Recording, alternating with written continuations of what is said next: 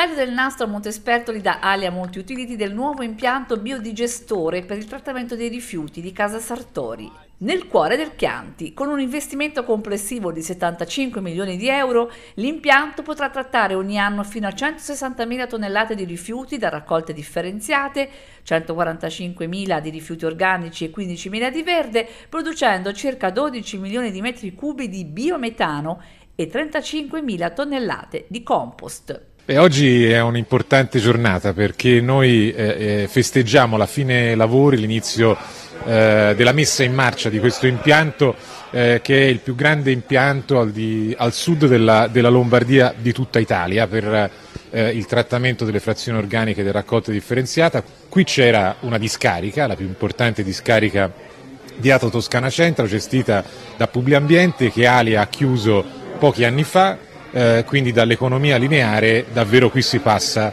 all'economia circolare.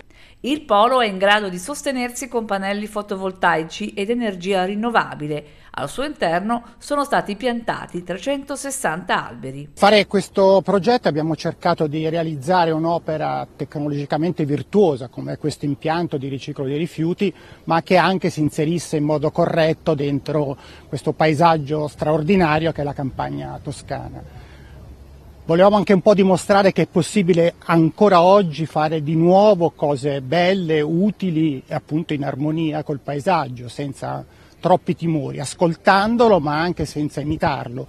L'edificio che vedete dietro è l'edificio un po' simbolo di questo impianto che appunto riprende questa forma circolare che sta alla base dell'economia circolare, ma si presenta con una forma un po' più complessa perché poi qui la realizziamo veramente. L'altro è la frazione per la quale eravamo scoperti, l'organico è l'unica frazione che la Toscana manda fuori dai confini regionali per 160.000 tonnellate che è l'esatta dimensione di questo impianto.